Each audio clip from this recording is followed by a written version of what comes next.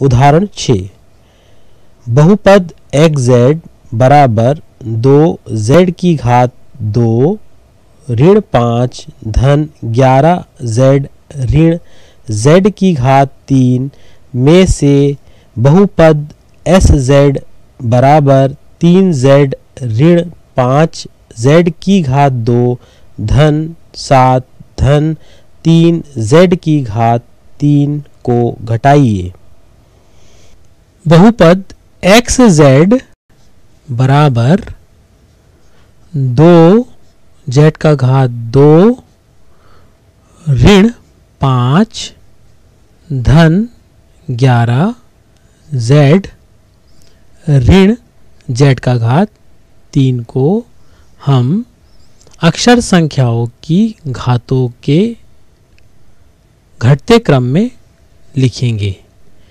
यहाँ पर हम सर्वप्रथम ऋण जेड का घात तीन, धन दो जेड का घात दो, धन ग्यारह जेड ऋण पाँच के रूप में लिखेंगे। अब हमारा दूसरा बहुपद एस एस जेड बराबर तीन जेड ऋण पाँच जेड का वर्ग, धन सात, धन तीन जेड का घात तीन। इसे भी हम, इस बहुपद को भी हम घातों के घटते क्रम में लिखेंगे। तो सर्वप्रथम तीन जेड का घात तीन, ऋण पाँच जेड का घात दो, धन तीन, जेड धन सात होगा। अब हम एक्स जेड ऋण एस जेड को, बहुपद को घटाएँगे।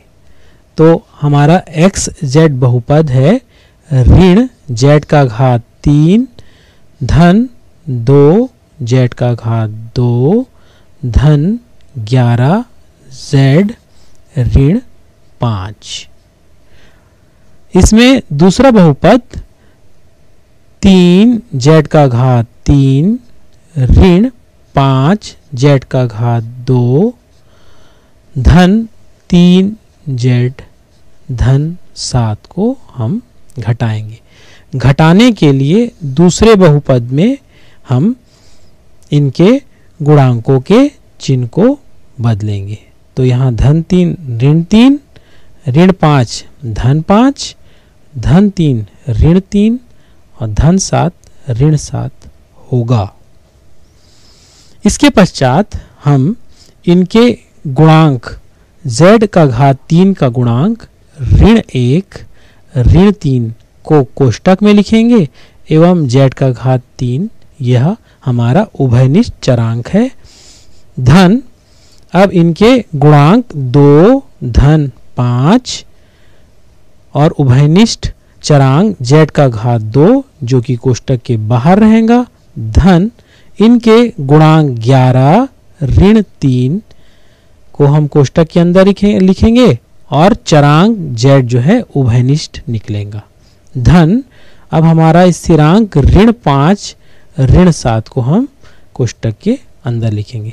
बराबर ऋण एक, ऋण तीन, बराबर ऋण चार, जेड का घात तीन, धन दो, धन पाँच, बराबर सात, जेड का घात दो, धन ग्यारह, ऋण तीन, बराबर आठ, जेड, धन ऋण पाँच, ऋण सात, बराबर ऋण बारह होगा।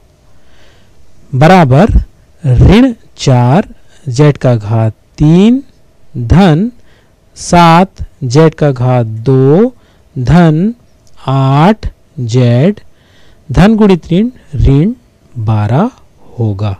इस तरह से हम इसे हल करेंगे।